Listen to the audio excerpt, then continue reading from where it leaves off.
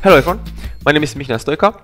I'm a character to deal with SideFX software, and this is the pre-recorded version of the masterclass that I held at Everything Procedural in uh, Breda, Netherlands at Breda University.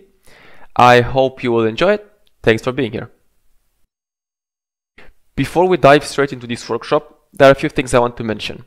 So first and foremost, obviously the most important is what exactly we will be building. Uh, hopefully you've read the description of the video, but nonetheless, the final result will look something like this, roughly, where we build this fairly simple reconstruction effect for this uh, marble statue that you see up there. And we're going to build a skeleton for, for the actual thing and then manipulate it, just have some fun with it really to see what the, the capabilities are. So that being said, if you want to follow along using exactly the same meshes, then I will be hopefully providing in the description links to the two meshes that you see up on screen, which is the statue and the table. So these both have been downloaded from polyhaven.com. Um, again, you will get the link uh, to get them if you if you want to use the same. In terms of their setup, it's pretty simple. I won't be diving much into this, but I'm just sort of transforming them into place, adding the materials, which you can't see right now. This is mainly for like the end result or for a, a nice shot at the end. And I'm doing the same for the marble statue, where I'm just transforming this on top of the table, adding the materials and just cleaning up some attributes. So with this out of the way, we can now begin the actual process of breaking down this scene and um, have some fun. So let's get started. The first step here was to essentially get that breakage happening because what we get in from the from polyhaven.com is just this this simple polymesh. So it's not broken into pieces. It doesn't have a skeleton. It's just a very simple um, simple mesh. So because of this, uh, we have to process it first, of course, and break it apart. And probably the best way or easiest way to break it apart and have it look convincing is to use uh, RBD. So I will walk you through my setup for breaking it apart and then having that animation uh, happen using RBD. But I'm going to make it a bit faster um, then I want to go through the rest of the scene, just mainly because this is not exactly within the scope of this workshop. And honestly, I'm quite a beginner when it comes to like just breaking up stuff using RBD. So there's a myriad of other tutorials and ways out there, uh, probably much better or more extensive than this one to do it. But in case you want to follow along, I want to make sure you have the opportunity to have a quick look at what I did. So I'll present this network really quickly. You can see it's kind of broken up into two uh, main parts. We have one on the left and one on the right. The right one is the main sort of breaking the statue apart and then running the solver. And then on one on the left has to do with an object that's uh, meant to hit the statue to have the destruction happen in a more interesting manner. So the first thing that we're going to do, of course, is bring in the statue uh, with a via object merge. So it is the same statue we've configured that I've shown previously with a transformer material, nothing else. We also bring in the table here, and you can see that the statue lies on top of the table. So we have it fall from the table, making it uh, of a more interesting um, animation overall. Then once we have the statue uh, ready to go, I'm going to use a RBD material fracture here. So this is a very powerful SOP that essentially fractures the object for us. I can show here the exploded view already so you can see the result of the fracture. And I'll walk you through what I did in terms of parameters. So I kept it fairly simple. Um, I have other primary fracture, two levels of fracture. So we keep everything at default, which is set to concrete, which is what I was looking for uh, anyway. And then for the primary fracture, we do uh, one, which is scatter points 9, and for the second one, scatter points 2. Uh, I think this is the only thing I've changed in terms of the, the default values. And honestly, this, there's no real science behind this. It was just a trial and error, seeing what looks good, both in terms of this exploded view, so how much detail we have, and also in terms of the actual destruction that I kept playing with. Uh, you can go ahead and under detail, add extra details for the inside of the, of the parts. Um, this will work, uh, especially because we get this proxy geometry as well output, so it's not going to make your simulation much, much heavier. But for the purpose of this workshop, I kept it simple. And I also added chipping. So I enabled chipping. Uh, most of these values are probably at default. Just change some seeds and chipping ratio to get something that doesn't look too cluttered. Again, a bunch of trial and error. There's no real you know, step by step on how to do this or why I did it this way. Um, afterwards, I have this UV layout and material here. This is also kind of an optional step, but I think it makes a lot of sense, right? We want to, actually, let's see if we can even see the difference here for the exploded view. So you can see the UVs on the inside parts. And after I UV layout them, uh, they don't look, don't look much better because I haven't really spent a lot of time uh, laying them out, but it's, a bit better in terms of the actual result at the end. So if you have a material on the statue, and you want to keep the inside looking more uh, realistic, then this is definitely a required step. You can ignore it for the purpose of this tutorial if you so wish to. Then before we move to the actual solver, let's have a look at how I, what I did on the left side with the object that's meant to hit the statue to break it apart. So for this I chose a sphere, a pretty simple sphere. Uh, just again, we're trying to keep everything uh, quite simple and fast to, to set up. I positioned the sphere somewhere in space in relation to the statue uh, just as a starting point. And then um, what I ended up doing for the motion of the sphere is actually uh, more of a procedural approach. So at first I just used like was using transform SOPs to transform the sphere to space and just have it hit the, the statue at a particular frame. But as I was iterating through the uh, the various like breakages and stuff, I honestly decided it was probably faster a way to iterate like this. So my choice here was to create a simple ballistic path setup. So essentially I'm packing the sphere first just to get a single point for it uh, because that's the only thing I want to drive. We had the ballistic path, not multiple because obviously the sphere when I create it is just a, a polymesh. Could probably turn this into an actual primitive and have a single point on it that also works. Um, but yeah, I went ahead and did it like this. Uh, and then in this wrangle, it's a pretty simple wrangle, but it's quite fun. So what I'm doing is I'm looking at the, the statue. So you can see here on the first input, I'm bring, bringing in a statue object. And then I'm getting a random point on that statue. That is a simple fit function. And I'm just using a randomizer based on the seed that's down here.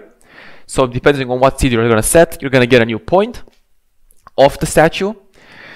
And then I'll be creating another attribute called target P, on my input points, so on this sphere essentially, because it's a single point now, that uh, holds the position of that random point from the sphere, uh, from the statue, sorry. So this target PT is then consumed in the ballistic path. So this just looks at the target position, target P, and looks at where my sphere is for the, the start position and that, that attribute for the end position. So this creates this nice path from the sphere to the statue um, and yeah, it's quite simple to set up and I can just play with the seed to get a different point every time. Then I'm not really doing any sort of fancy physics stuff with the ballistic path, so I'm not really launching the sphere on that path using physics because, again, I want to keep things simple. Instead, I'm just using a simple path deform and I'm just offset the position based on a few frames. So this just is a linear, linear drive of the that path on that path. And I'm also adding some rotation just for the fun of it to make things more interesting. And that's the sphere, essentially, and this is supposed to hit that statue to cause it to break apart. Then I'm merging that sphere together with the table, so we have the both of these objects as collision geometry, and then we feed them both in the RBD bullet solver. So on the solver itself, uh, I'm going to start with the output, uh, with the orient attribute here. So this is an important thing to output because we're going to be using this later on. I'll explain a bit later on why we need this, but essentially um, each point, or rather the RBD will make sure to give us the rotational data of each point on that statue uh, so we know how it rotates through space as it gets simulated. This is essentially, we get that, that data for free from the solver, so we might as well use it later on if we have it. Then under collision, just want to set this to deforming, so we get this sphere uh, animating through time. And then also set the ground plane, so the pieces have something to fall onto. And then under properties, I did play around a bit with the density, just lowered it a little bit uh, to get the result that I was after. And then also with sleeping so that the pieces uh, come to a stop from the seam a bit more quickly um, and don't, don't, like rotate too much uh, once they hit the, the ground. And that's essentially all the, the, the, values I had to change on the RBD solver. So again, keeping it very simple. And now if I play this, it's going to take a little bit of time for it to sim. But you can see how the sphere hits the statue, breaks the head apart, and then has it sort of fall backwards um, off the table. Head breaks into multiple pieces, and you get that effect that I shown at the beginning of this video with um, the statue breaking apart. So I chose as an end frame, frame 190 for this sim. Uh, this was just mainly honestly to try and keep it as short as possible while keeping uh, having it look nice. So I kind of decided to stop it here with the pieces almost laying on the floor. You can see it still goes on for a few frames, but that's fine. I don't really want to extend it further. So we can say 190 is what we're happy with. And afterwards, I'm just doing some simple attribute cleanup and group cleanup. So this makes sure to delete non-selected and essentially saying I only want to keep orient and p. So clean everything else. And then on the group delete here as well, uh, we want to kill those groups because I don't really uh, plan on using them later on. And after all of this, I'm doing a file cache, which exports uh, this animation as a, uh, a cache on disk, so we can then bring it in the scene again later when we're going to use it to build the skeleton. So this is kind of the first step um, of the, the process. We have the statue, we break it apart. Once we're happy with the effect, then we can proceed to build up the skeleton.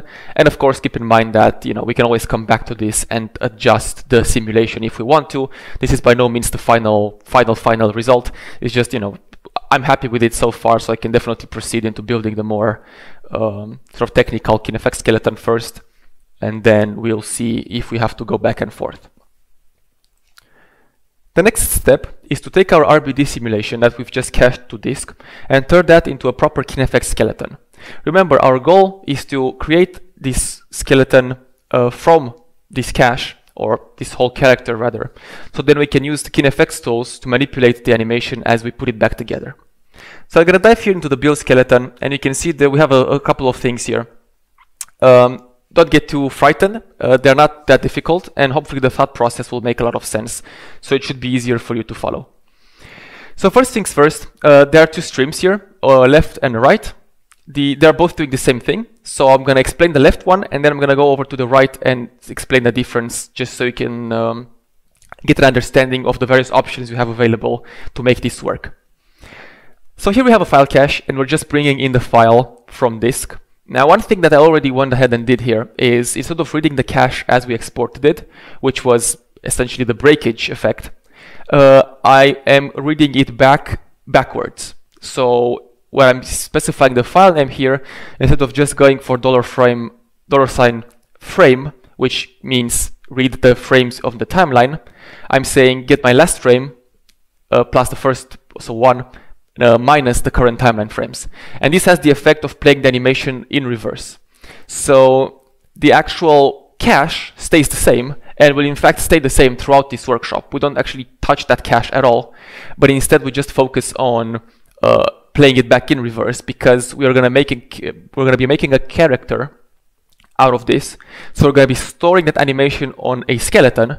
So we don't exactly care or we don't want that cache to be um, playing in reverse also. We're, we're fine to, to use it as it is. So this is already a, a neat little trick that gives us the, the re reverse uh, motion uh, quite quickly.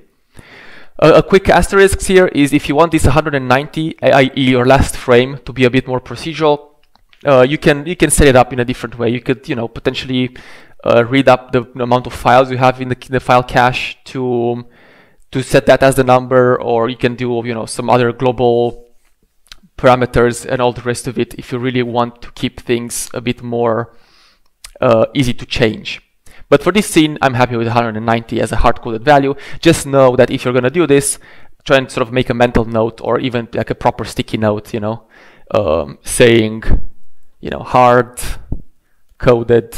value and then do something like this. So you don't, don't forget where you've uh, where you've used these kind of kind of things.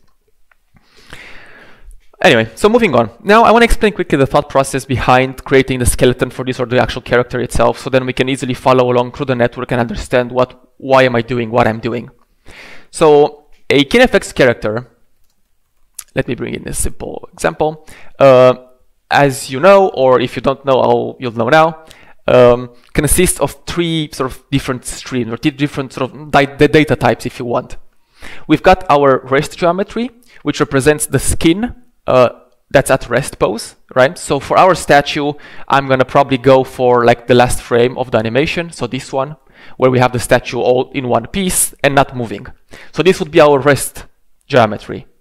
Then we have our capture pose. and this represents the skeleton of the statue at rest pose.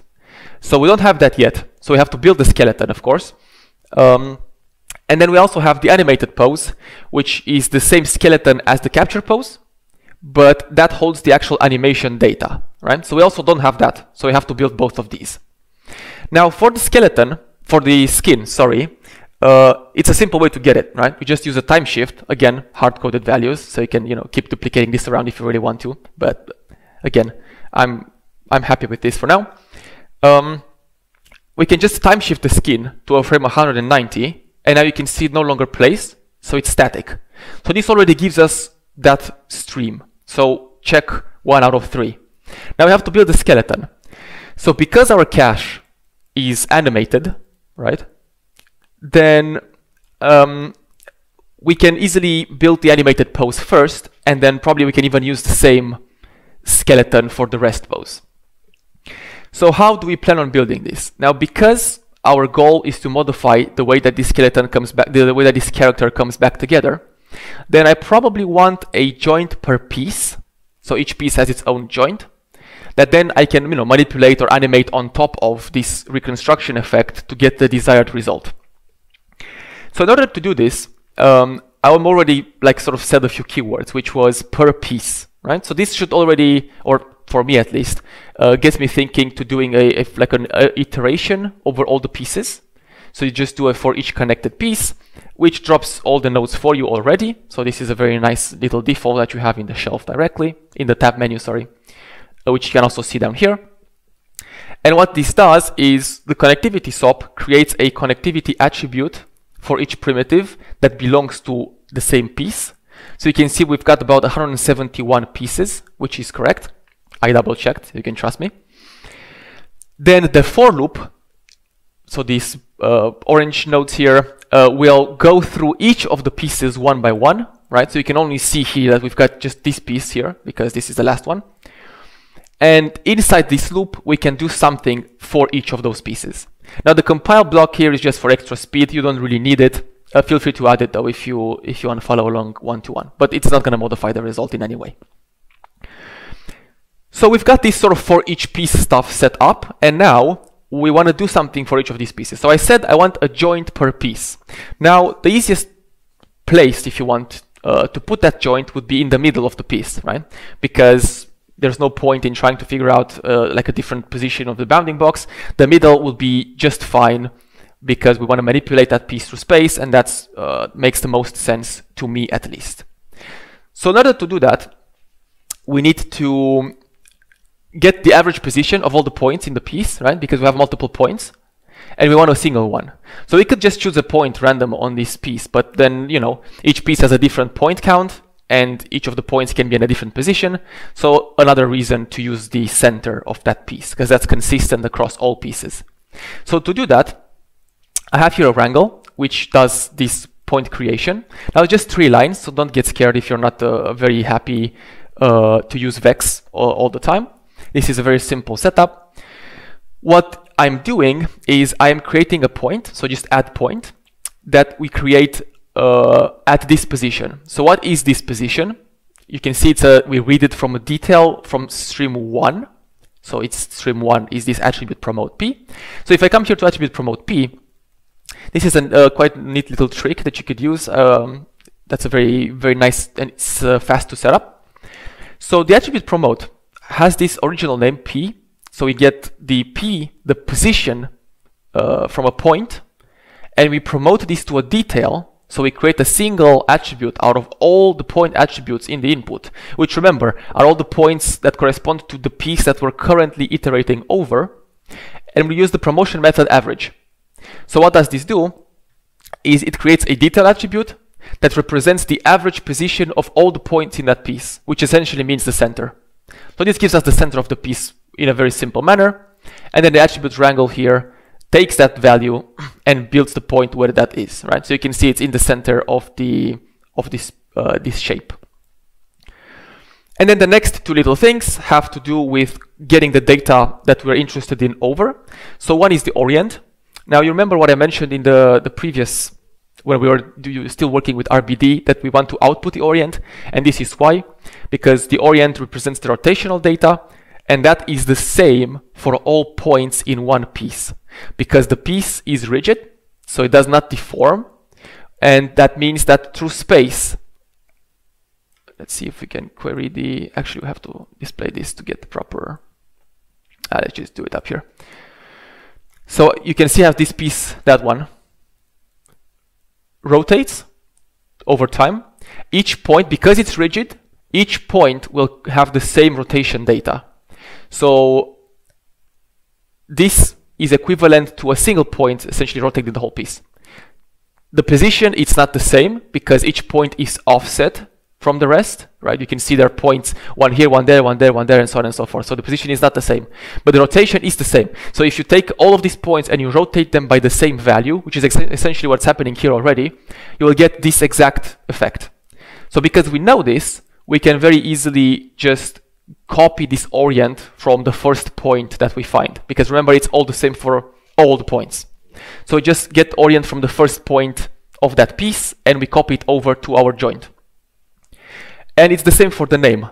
Because each of our primitives here belongs to the same piece, they are all named the same. So we can just use that here to get the name. Now the name, we don't necessarily have to. Uh, I'm just doing it here because I plan on using this later on for the capturing. So might as well transfer it over now. Um, if you're more comfortable in SOPs, and you're not a big fan of Vex, you can also just use an attribute copy to copy these attributes over um, to the stream instead of the wrangle. But because I already am making the point here, I decided to use this set point attribute in there. So that's it. Okay, so hopefully the thought process here makes sense and it's simple to follow. And this gives us this. So we have a point cloud, 171 points, right? So for each piece, one point. Remember what I said about the class, 171 pieces. And now if we play back, you can see that they are actually animate as well. And this is of course because the input to this for loop is animated and then each point we create is based on the average position of each piece, which it is animating, so we are getting this effect. And that's almost it, honestly. Uh, the only last thing is we want to make sure that this is a valid KineFX skeleton. And there's a very simple way to do this. Uh, even if you're not familiar with what KineFX uh, expects in order to uh, treat a point cloud uh, or a hierarchy as a valid skeleton, you can use the rig doctor. And this will essentially take care of everything for you. So uh, at the top here, we've got this initialize missing name and sanitize names, which is not necessary because we already have the correct names. So you can ignore this, but uh, it's just the default values. It's not going to do anything really. And then we also have this initialize transform. So this is something that you want to do here in order to get the, the last missing bit. So KineFX works with a P, so position of a point, a name of a point, and a transform attribute for that point. The, the, the transform is the rotation uh, data of that point as a 3 by 3 matrix. So if we now check what attributes out of those we have, you can see we have name, orient, and p. So name and position I already checked, but we don't have a transform, we have an orient. Now luckily, Rig Doctor is smart enough to know that orient represents a rotation attribute because it's a common used attribute when it comes to like various simulation workflows in Houdini. So if we check these initialize transforms and convert instance attributes, the rig doctor will take that orient and it's going to build a transform out of it. And that's very simple. Like we don't have to do anything. There's no math involved here. We just have to let the rig doctor know that we are interested in doing this and that our stream probably comes from somewhere that uses orient and he will take care of this for us. And what this gives us is a bunch of KineFX joints. So if, for example, look at this joint right here, you can make it a bit bigger. You can see that as I play, those axes rotate. Like now, of course, they rotate a bit crazy because the piece is rotating like crazy when it comes back up. But you see we've got rotation. And this is the KineFX Python state. So this means that our actual skeleton uh, must be valid. Uh, we can, we're going to check this again a bit later when we actually uh, build the whole thing, the whole character. But that's it. So that's the setup that we need in order to create that skeleton from our pieces. And now once this is done, then it's very simple, right? So we essentially checked our skin, we checked our animated pose, we have the rest pose left. And that's very basic, basic to do because all we have to do really is use the same skeleton that we have here and time shift this again to the last frame, right? So this says, well, you know, I, I need that skeleton at rest pose. This is the rest pose that I've chosen, so I'm just gonna time shift it and that's it. Um, and then we can, before we check the joint deform, which essentially uh, checks for the, or deforms that character, the last step is to also make sure we skin this to the joints, right? Because that's how a, a character works. You've got the skin that's uh, and the joints that have some weight, and they affect the skin. They deform the skin. So to do that, there's a very simple way. Of course, we have our skin here, this dense mesh, just time shifted, and we have our skeleton here, time shifted, right? So they don't move. We want to capture at rest pose. There's this capture packed geosop which does this based on an attribute for us. So if we have a look at the, the parameters here, you can see that we have pack input. Now this is required by this node in order to correctly uh, weigh or capture rather.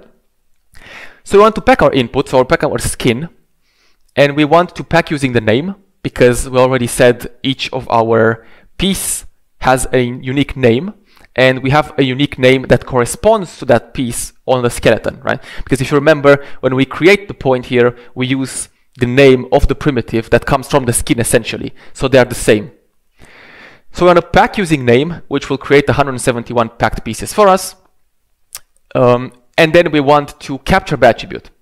So we say, look on my skin for the name, look on my skeleton for the name, and if you find a piece on a skin with a joint on the skeleton that have the same name, just capture that skin part to that joint. And that's exactly what we want to do, right? Um, and then we unpack our output just to keep things clean. And that's it. All procedural, don't have to do any manual work here and we can then do the final check to see if we have a valid character. We can plug everything into a joint deform, the same way you would do with an actual KineFX character. And now if I play back, you can see that we've got the same animation as the cache, except now we're playing it via a joint deform rather than via a file cache. And if I display both of them, you should see that they are exactly the same. So that's it. That's the whole process of creating from a file cache, create a valid KineFX character.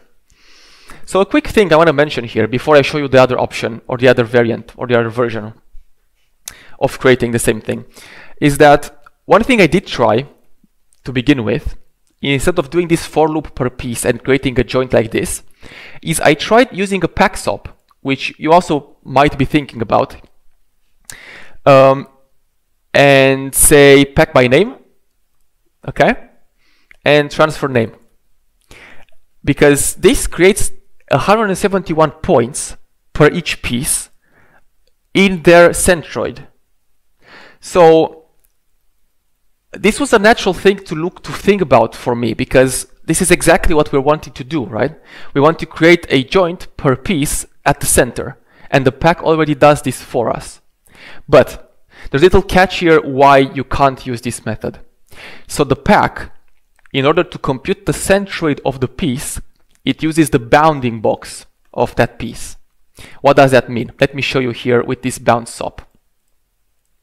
So imagine that the pack does exactly this. It computes a bounding box per piece and calculates its center. This is fa way faster than computing uh, the average position of each of the points. That's why. But even though our points are rigid, they do rotate. So look at that box right there. You can see, okay, well that's not. Uh, you can see how it changes over time. So you can see that the box itself doesn't stay the same uh, volume-wise. It keeps changing, and the reason is because our piece rotates through space. So when you have a piece that rotates through space, then the computation of the bounding box will not stay um, the same, which means that you will get a centroid that's slightly offset with each frame which will not work. Like your statue, if you're using this method, the statue at the end, when we bone deform it, when we joint deform it, it's going to look slightly offset position-wise. That's why it doesn't work. So keep this in mind if you are thinking about using pack, or if you're wondering why haven't I used pack because it's a simpler method, that's why. All right, so before we move on, I want to talk about the alternative here. So I'm not going to linger much here because uh, it's a very similar approach. The difference is in the way we compute the, the centroid.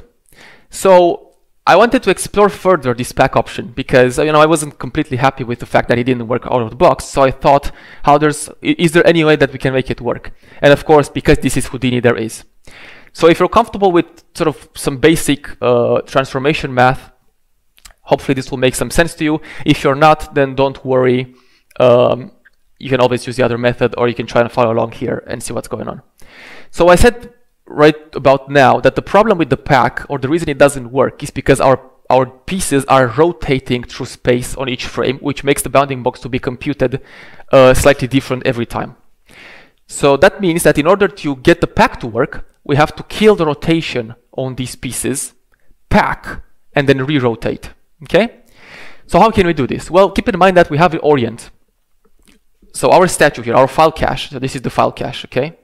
Our file cache has the orient attribute on the pieces, which indicates their rotation through space. So we can use that attribute to kill the rotation. And how do you do that? Is we build a matrix from it, a 4x4 matrix from the quaternion that's called orient. And then we transform by attribute. So we transform the whole geometry, each piece, essentially, by the inverse of this orient. So again, if you're comfortable with 3D math, this essentially means that each position, each point's position gets transformed by the inverse of the rotation, which will make it not rotate anymore. So because you can see here, it looks a bit odd, but it stays put. It does not rotate anymore at all. It just translates. So now because the piece doesn't rotate, the bounds will stay the same on each frame. So we can safely pack transform some attributes over as well. And then we can do another transform by attribute using the same X form that we computed up here, but this time we no longer invert. We want to apply the rotation back onto our pieces. And this will bring the, the statue exactly in the same um, spot where it was before, which is the pieces sort of rotating and building up correctly here. Okay? And now, once we have this stuff, we have essentially 171 points with a name attribute on them because we've transferred over the, the name when we packed here. And we can then easily create uh, a rig doctor straight from it. We can remove the geometry and only keep the points and this will be exactly the same thing as we did before. It's just that now instead of doing the for loop you know, for each piece and creating a new point per piece, we just use the point that the pack SOP is creating for us uh, after we've killed the rotation on the pieces. So keep in mind that this is possible um, and yeah, just feel free to use whatever method uh, makes more sense to you.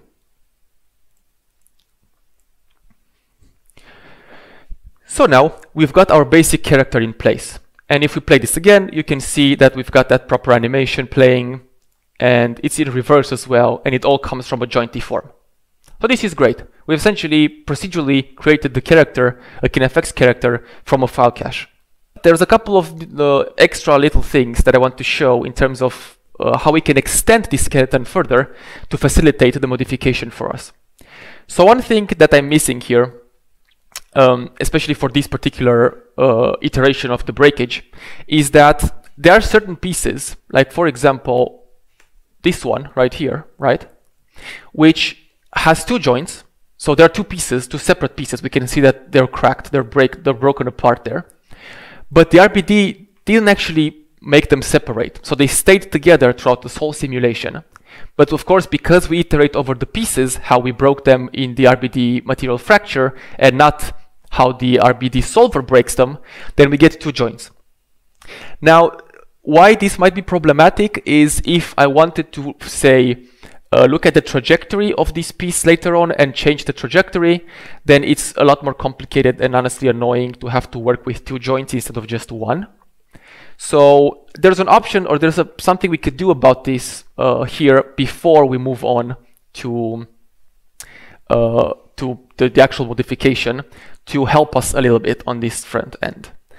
Um, what we can do, and this is what I'm doing down here, uh, don't worry, it's, it's essentially the same thing, uh, it's just there's a few things extra.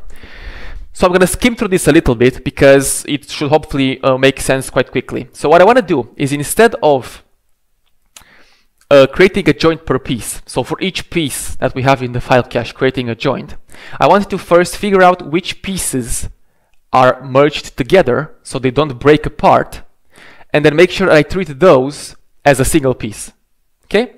And you can see that we also have this huge piece here, the torso, which is basically just one, one piece. But if you look at how many joints we've got for it, it's like, I don't know, like 20, 30, or, or a lot of joints, right? So this is a bit annoying, especially again, if you want to deal with the actual motion trail of the object. Uh, and since it's a single object, then we might as well uh, treat it as such even when we build the character. And luckily, there's a very simple way to do this. So remember what I did before up here is I said create a connectivity SOP. So for each piece, we have a unique identifier called class. Now, instead of doing this, I want to find a way to figure out which pieces are merged together or are sort of uh, uh, make a whole. To do that, we can use a simple fuse node here. So how exactly? So first things first is I'm picking a frame. So which frame do I want to compute my new pieces from, right? Because of course, if you look at the actual file cache, then this piece right here is one piece at frame one, but at frame 177, the whole character is one piece, right? So I have to choose the frame that we want to compute our pieces from. So I'm using a time shift for that here. You can also use a cache if you want. And I'm saying frame one, right? Because frame one is the frame at which all the pieces that can be broken during the simulation will already be broken. This is essentially the last frame of the breakage. Then I'm just using a simple fuse node that will fuse the pieces that are very close together into one. And then I'm using the connectivity to create the class. Okay? So let me show you what does uh, what the difference is. Uh, I'm going to put this color I'm going to just do this connectivity. So this is the same thing we had before, right? I'm going to do a color here. I'm going to do color uh, random from attribute, and I'm going to use a class. Uh, this is a primitive attribute. And you can see, you know, let's come to this piece right here, or even that one, which shows the result. You can see how we have two different colors because we have two different pieces. So if I come down here to this connectivity 3 and I plug this into the color 1, you can see how we still have separate pieces here, but this one has turned into a single piece, right? The same as with this big one.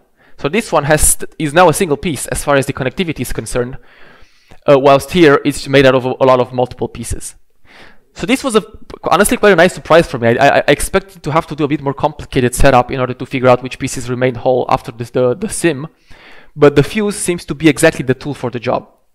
So once this is set up, then we can of course just transfer over the class onto the time-dependent stream here. So we computed at a single frame, but then we put it back onto our deforming mesh uh, on each frame. So the class will stay the same because we have the same point count, but it will, it will be computed from a single frame. And once this is done, then we can essentially run the same algorithm as we did before, uh, because we're iterating over each point one by one. Remember that. A few caveats here. So a few things have to change. Um, one of these things is in regards to how we treat the orient and the, the name, okay? So if you remember up here, we, I said that it is safe to just read the orient and the name from the first point or primitive of the piece because they're all the same. But now we no longer can do that because a piece or the concept of a piece right now can actually be made out of multiple pieces because we're doing this fuse up here, okay? So we have to slightly adjust for this. And how do we do that? So first and foremost, we can just uh, average out the orient the same way we average out position. So attribute promote is smart enough to understand that orient is a quaternion and it knows how to create that correct average for us. So this is very simple. It's the same thing we do with position. We now do with orient and we just create the orient from the average of all the points in the piece. But when it comes to name, we can't really average a name because it's a string, right? So we have to find another way to do this.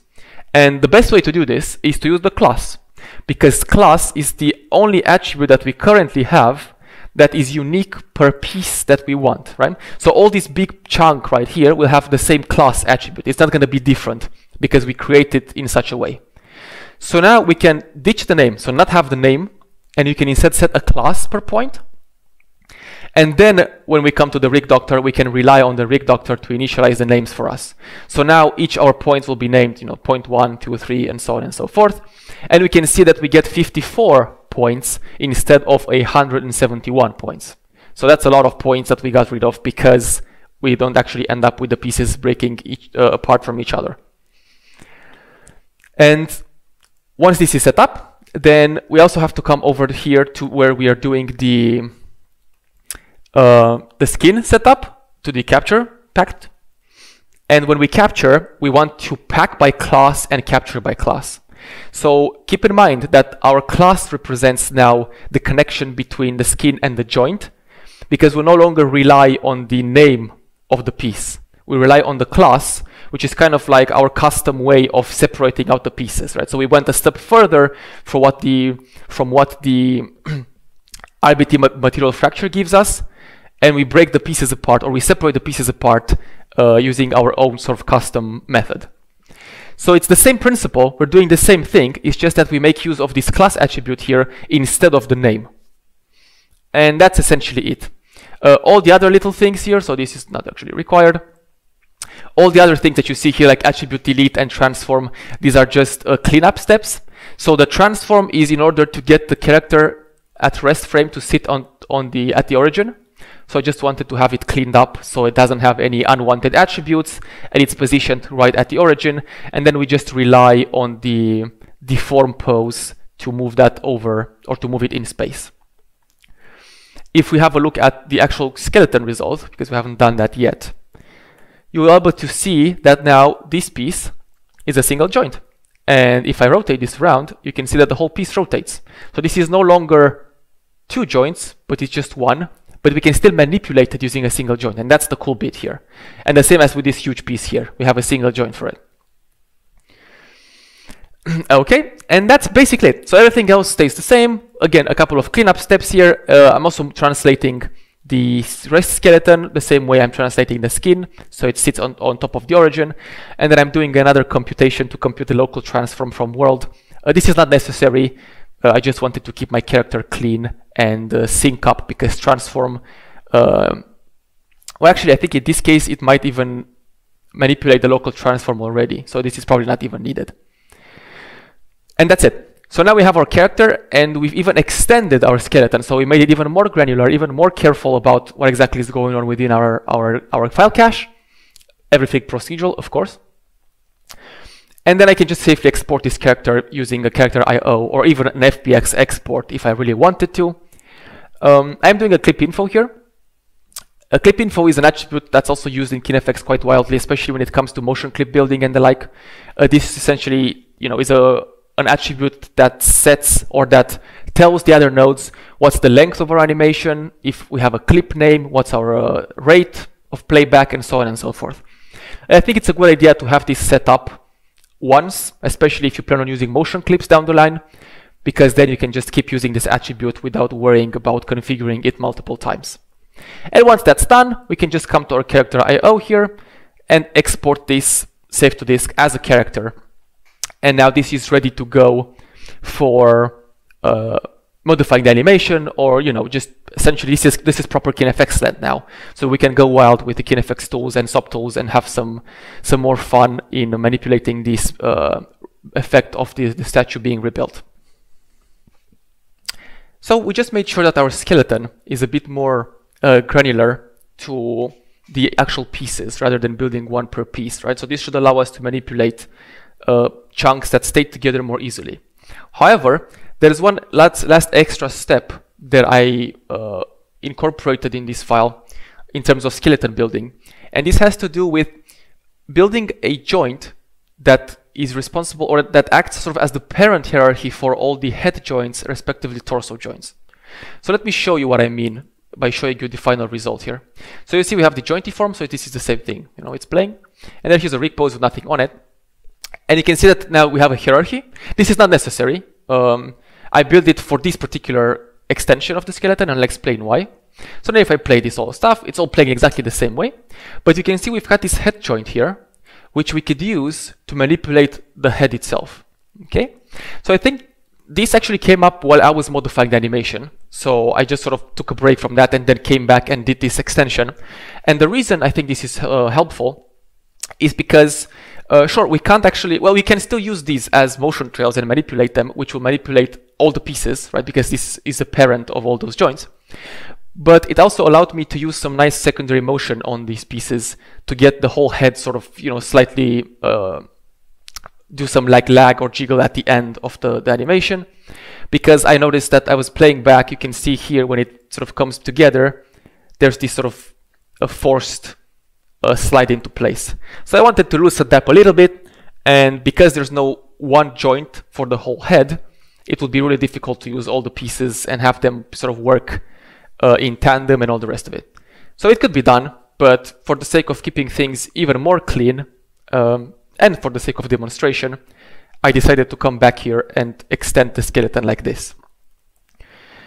So what's this, the process here?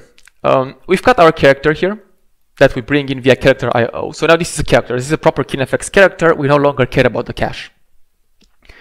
And what I want to do is I want to build two joints. So I have here a skeleton SOP. Honestly, I just kind of went in and did it by hand because I don't expect, uh, or I don't plan to change my character. Like it will always be the statue and it, the rest pose will always be this one.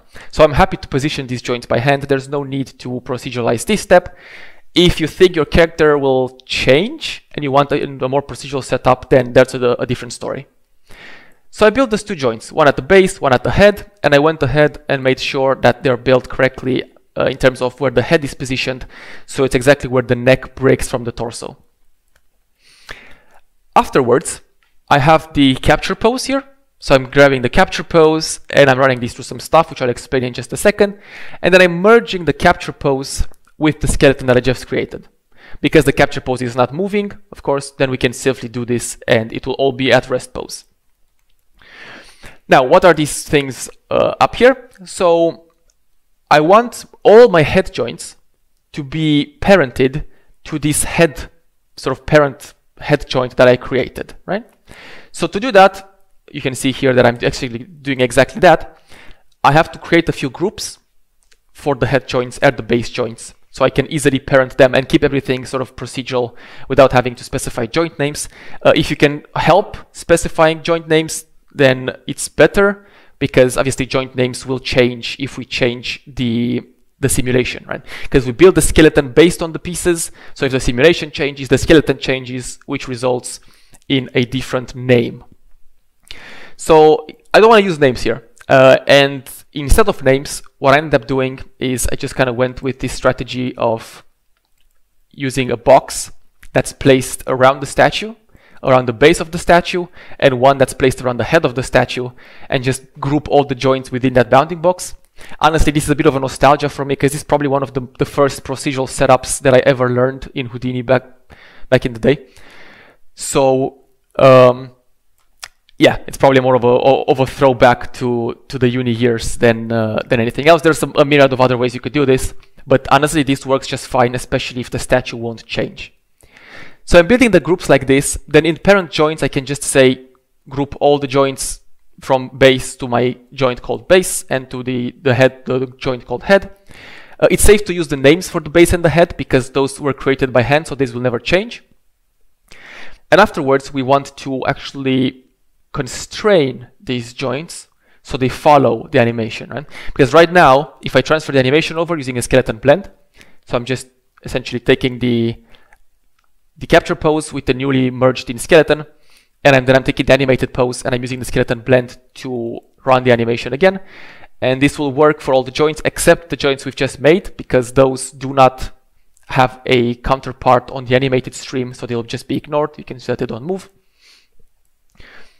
Uh, we want to constrain those joints, of course, to the rest of the joints that they uh, are parented to, or that rather constrain the parent to the children, so they move in tandem. And you know, this is a bit of wrangling to do.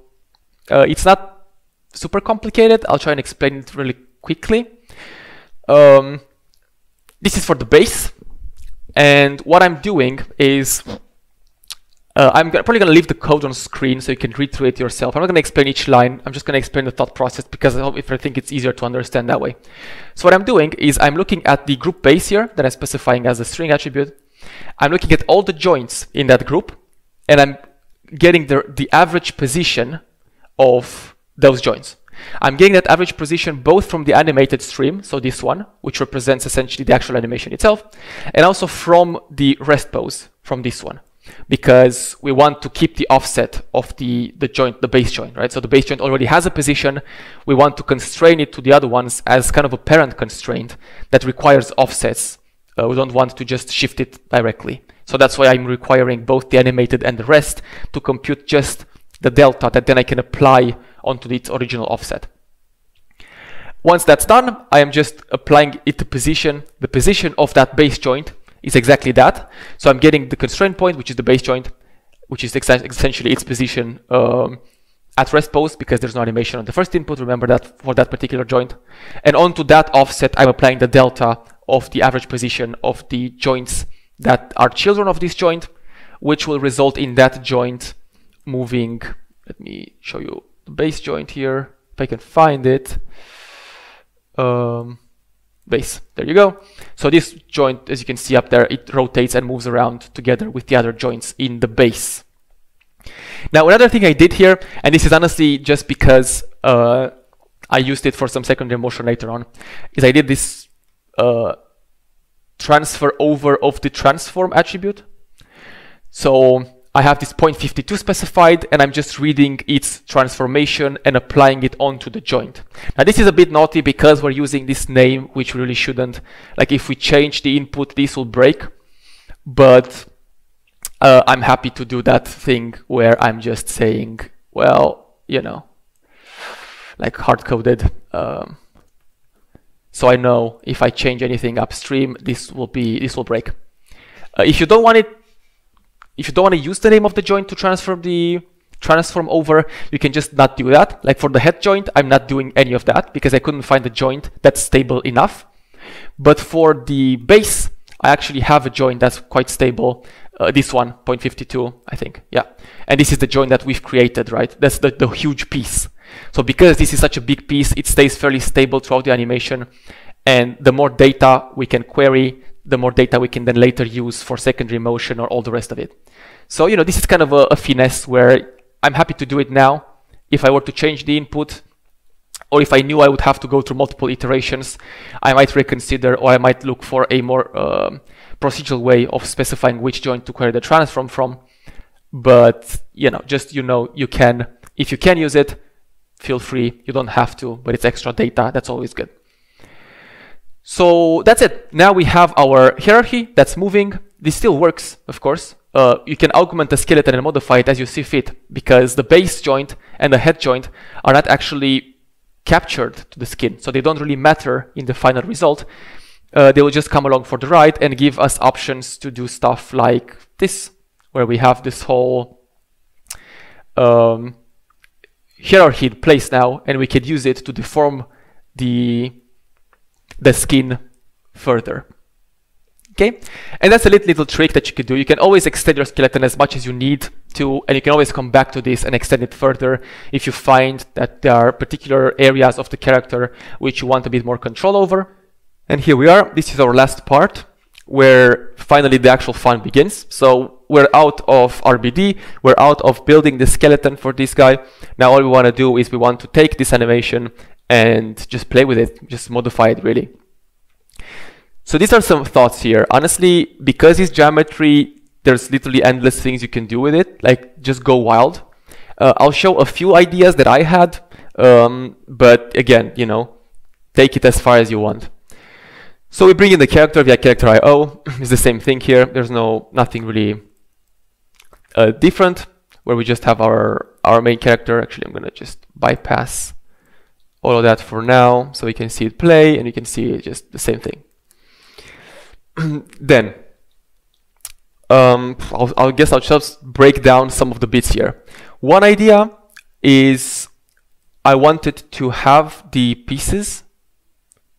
So let me also just bypass the blend shape stuff. So I wanted to have the little pieces that you can see on the ground there uh, I want them to be sort of late, like delayed, so they just all sort of spring up and come uh, and rebuild themselves at the end, just to add some extra uh, interesting visual effect, I guess. So what I ended up doing is I'm building a motion clip here out of our joints, which you can see basically this is the whole animation. This is the evaluation of the same motion clip, so it just plays back. Um, and then on the side here, I have a couple more motion clip retimes, which just retimes the whole motion clip. I just went like brutal. I didn't want to, you know, just everything really. Um, there are two of them doing the same same process but just different values. So this one shifts the animation forward to frame 25. So it starts at frame 25 and it moves about 1.192 faster than the original. And this one moves twice fast fast and starts at frame 80. Then I'm evaluating these motion clips as well, so you can see them play uh, differently. So you can see that this one stays put for the first 25 frames, and this one should stay put for the first like 80 frames, okay? And then it starts playing much quicker. And then I'm just using some skeleton blends to blend back to my original stream uh, the pieces that I want. So for this skeleton blend is I just chose all these small pieces that I mentioned. Uh, so you can actually come here to figure out which one they are just zoom in and select them like that.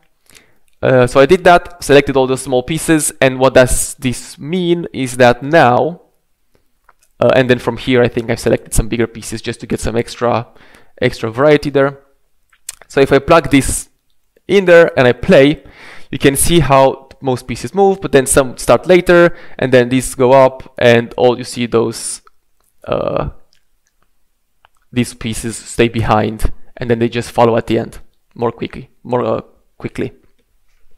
So that's one one cool thing you could do. Um, essentially, this is kind of like a time shift. You can time shift each piece by how much you want. Um, and yeah. Uh, next up, I think this one, yeah, this is a simple animation. I'll show a bit later. Oh yeah, the next one, we can do the secondary motion bit because we've built that whole hierarchy for it. So might as well uh, have a look.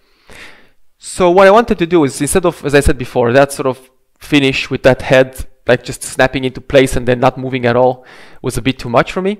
So I decided to apply some secondary motion on that head joint because that's why we built it.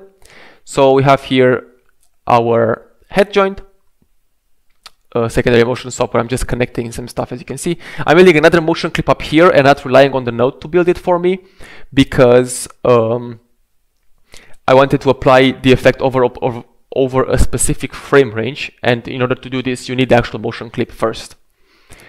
Um, so yeah, secondary motion, and then I have here the custom frame range. So I just want to effect to start at frame 147 and end at frame 190. I want to inference P because remember our head joint doesn't actually have a rotation, so that's all, all the data we can work with. And then I'm doing some some lag on it, uh, and then I'm just blending it back. Um, I'm doing a blend in to not have the effect kick in so quickly given that it starts at frame 147, right? So it, it might start a bit too abruptly. And I'm doing something similar here for the base, but the base I'm actually using the transform to rotate it a bit. And I'll show right now how this looks. So if I play, it will still play the same thing. So be very similar up until frame 150 or some. Everything builds up, and then when it reaches up, you get this nice bounce here. You get the bounce from the base, which rotates slightly, and then you get the bounce of the actual neck position-wise. Uh, you know, if you're going for something too realistic, this might not be might not be the result you're looking for, but I think you know it looks quite fun, and um, I like it way more than just having it like snap into place very statically. So this is why we've built essentially those joints before to be able to do this kind of thing. Um, moving on, uh, there's another rig pose. I'll show that a bit later. That's just uh, an extra thing that I did at the end there.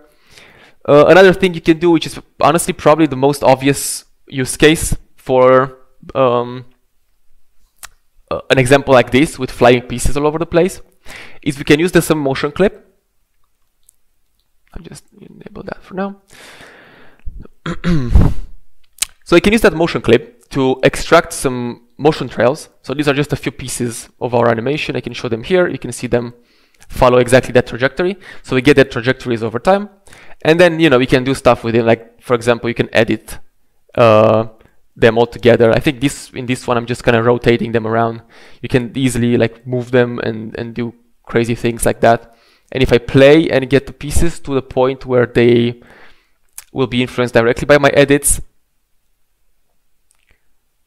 uh, actually, you would actually see that if I were plugging the correct output. So let's try that again. If you see the pieces there and I move this around, you can also see them update, which is pretty cool. Okay, there we go. I'm gonna undo a couple of times. Anyway, so that's that's one thing you could do, right? Like once you've got the motion trails, because motion trails are essentially just points. So this is just points in space, and that's it. So I can very easily, yeah, just take them away. Honestly, the edit, use soft transform, use noise, use any SOP tools you can think of that manipulate geometry and points, and you can modify these trails like that. And then all you have to do is you have to do a motion clip update to put that data back onto the motion clip, and that's it and then an evaluation if you want to evaluate this in a joint deform, for example. And right now, you know, you've got the, the delayed stuff. So each piece is a bit delayed. You get that build up. You get a bit of difference in the motion trail. And then also at the end, I went ahead and added this just for fun. So I basically offset the mouth and then at the end, it just builds it back together using the secondary motion. And if you want to take this even further, you can also add blend shapes to the mix. So here I have my rest geometry, okay? I've built this smirk on his face as a blend shape, essentially an edit SOP. I just move some geometry, create a blend shape, uh, animate this blend shape, and then if I plug this into my joint deform, you can layer all these effects together. So as this builds, fixes its mouth, and then smirks. And there you go. Um, you can go, again, as far as you can you know, possibly think of, because you've got everything that you need, right? You've got all the, you've got the, joints, you've got the rest pose. The rest pose is also in a very, um, like it's just literally like right there, the, the whole statue is uh, at the origin, it's built up, so you can build blend shapes on it, you can do whatever you want with it, and then on this side you just deform it uh, by whatever you feed into the actual input. And um, yeah, that's that's essentially the core of this of this workshop. Um, I hope that the process uh, seems straightforward enough. I think that the thought process itself makes sense because, you know, to my mind, it's very simple to go from, you know, RBD to KineFX just because obviously I, I understand the concept. But I also think that, you know, even for somebody that perhaps is not so familiar with KineFX, just looking at this and seeing how simple it is to just use the geometry uh, and use, you know, we're using Rig Doctor to build the skeleton, so you don't have to know necessarily uh, what attributes the joints need in order to be a valid skeleton, just use the Rig Doctor that takes care of this for you. And as you layer these uh, things on top of each other, you essentially get from a, a mesh, a polygon mesh that you break apart using simulations, you get a full-blown actual character that you can you know, even animate using rig pose or other KineFX tools, or manipulate using SOP geometry um, tools that have nothing to do with actual character. So before we close things off, I wanted to do a quick round trip to the beginning to change the RBD sim and just see how this thing can propagate uh, throughout the network. So I don't expect the modify to work here because again, this is very specific to the current skeleton that we have in place. And I think that's fine. Uh, most of the setup that we have in modify, as you just saw, is not really meant to be uh, like generic, right? So it's quite specific to the animation. So I'm happy to leave this out. What I'm interested in in the is it the skeleton itself, how it's being built. So you can come back up here to the RBD. Um, and let's just change this a little bit. So I'm gonna come here to the ballistic path. Okay, I'm gonna change my position of the sphere. So I'm gonna put this, you know, over to a different side. So maybe let's do something like this. And I was going to change the seed here so we get a different point. So maybe we do that one on that side. That's fine. Uh, and that's that's basically it. I'm going to come here to the RBD solver and I'm going to run it. So actually, let's just go to the solver so we can see the collision geometry as well. So I'm going to run this and wait for it to go. You can see the sphere firing from a different position now, and it's going to hit. It's going to already break some pieces up there, gonna make the whole thing fall backwards. Feeling like a sports commentator now. Okay, that's sure, whatever, it's fine. Uh, I probably wouldn't keep it if it weren't for the, sake of of another example. But it's I mean it's cool that it all breaks apart on the floor. You can see it's a, it creates quite of a mess, leaving some pieces on the table. Anyway, so we got a new animation. We're happy with it. I'm gonna go to the out mesh here, and I'm gonna save this uh, in a different place. I'm gonna just do like a mesh 2 type thing here, and I'm gonna do save to disk. Whoops. So we're gonna save that over to disk, 190 frames again, and let's see what we've done. So I'm gonna come here to build skeleton first, okay? And we're gonna be using the bottom network because that's the, the finished one, the more complete one. And I'm gonna specify here our mesh 2. Yeah, so this has changed and I expect this to be, yeah, so it's still working, it's still play, playing back, but we can see it's the different, it's the new uh, animation. Okay, so now I'm gonna have a look at my character. Um, and this seems to be working. We have our KineFX character. Uh, let's check our joints. Yep, we've got a bunch of joints here. We can see we have multiple joints because we have multiple pieces now, so 93, okay? But this is all working because of course we're just using the pieces and our nice fuse algorithm also works quite nicely to keep at least uh, some of these big parts together here. Um, okay, so this is working. Then we can come here and export this. So my marble statue 2 or something. So I can do a save to disk. And then we can also come here to the extend skeleton. So we can bring in our uh, character marble statue 2. And then if we have a look at our joint deform, we can see it still works correctly. Now we have this hard-coded value here, which probably will not match anymore. So we can, you know, just kill this for now. Um, and yeah, we can find another joint if we really want to. Uh, we can see that this still works. And if I use the rig pose, let's kill everything. We see we've got our base here, which still works correctly. We've got our head here, which still works correctly. Um, and yeah, so essentially this, the setup seems to be correct. Uh, it seems to be adaptable really easily. We can keep changing the input and we're getting a new skeleton or a new character every time. And now once we have this already built, we can go ahead and uh, modify or create, you know, basically another geometry like a modify 2. Come over here. I'm going to switch this to, or actually we haven't exported this. So let me export this as well as a full skeleton 2. Save to disk. And then I'm going to come here to modify and I'm going to query the second one and reload geometry. And we should have that done.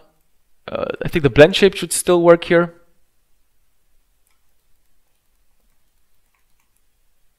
Yeah, the blend shape is still working, of course, because it's the same topology.